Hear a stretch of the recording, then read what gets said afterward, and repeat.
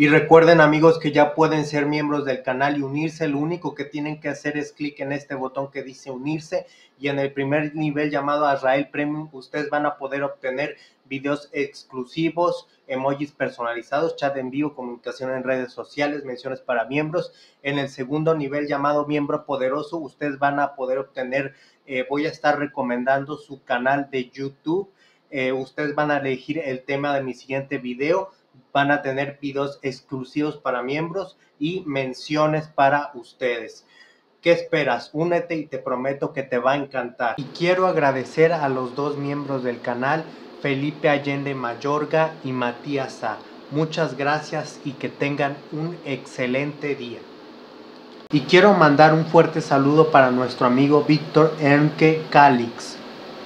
Leonardo da Vinci realizó el retrato de la Mona Lisa entre el año 1503 y 1506 y supuestamente el cuadro estaría basado en una mujer llamada Lisa Gerardini, que era la esposa del mercader Francesco del Giocondo.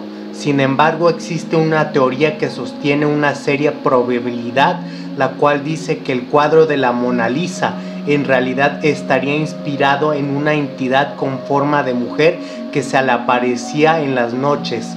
Esta teoría surge porque supuestamente la dama llamada Lisa Gerardini no había sido lo suficientemente influyente o inspiradora como para que Leonardo la hubiese dibujado.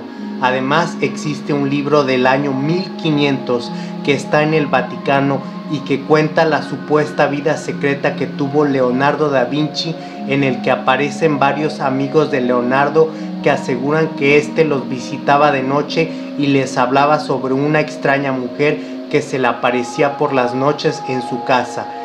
El libro cuenta que la mujer que se le aparecía a Leonardo da Vinci tenía una cara muy diabólica, además de tener unos dientes muy parecidos a los de un vampiro.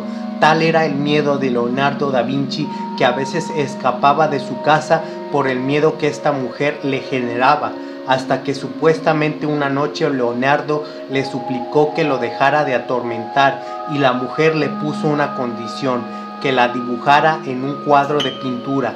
Es por eso que la razón de la expresión de la Mona Lisa resulta ser un poco perturbadora, ya que parece que está enojada, alegre y triste al mismo tiempo. Todo parece indicar que el dibujo de la Mona Lisa está basado en un espectro de otro mundo que intentó mandarnos un mensaje, pero que todavía hasta la fecha no hemos logrado descifrar. Si te gustó el video, por favor dale un me gusta y compártelo con todos tus amigos.